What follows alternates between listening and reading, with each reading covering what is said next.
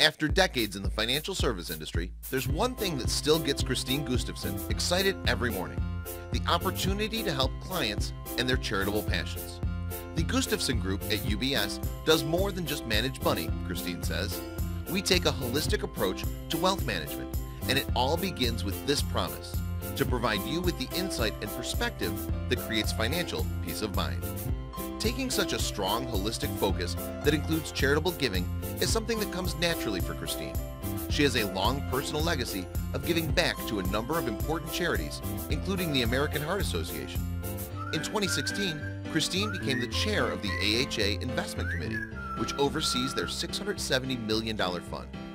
If you're looking for advice with your investments and financial planning, contact Christine Gustafson with the Gustafson Group at UBS Financial Services today at 602-957-5100 or visit them online at ubs.com.